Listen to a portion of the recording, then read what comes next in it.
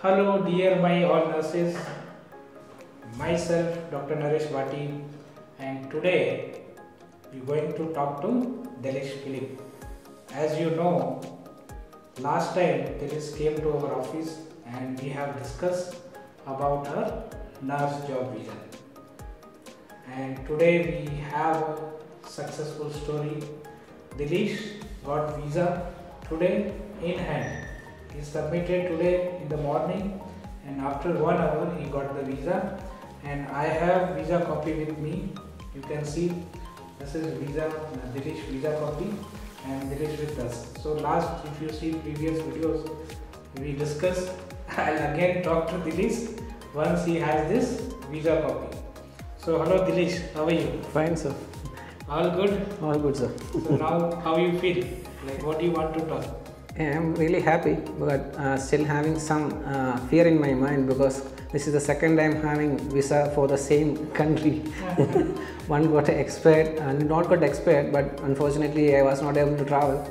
But this time I am, the process was a little bit uh, slower, but uh, now I am I'm really happy that I am having my visa because I don't want to wait for uh, another days because they had given me in hand only.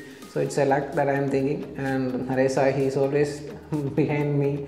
He always supporting me with that. Don't get delayed. Don't get a dust because one day will be yours. So I think this is my day. Now rest I will talk later.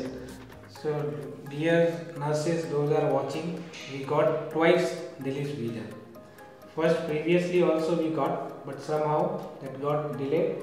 So now again we have Dilish visa with us, and he is traveling next month to Germany. So if you any nurse, those are watching both of us, he is in my office now today, and those are watching this video today. If you are dreaming Germany to become a registered nurse, your dream to work as a nurse in Germany, do contact Welcare Overseas and we are there to help you out throughout the process. How Dilis is happy today with me and got successfully visa. Same way we can help you to reach your destination. So thank you so much Thank for sir. joining and I'm so happy for you. Congratulations. Thank you, sir. Thank you.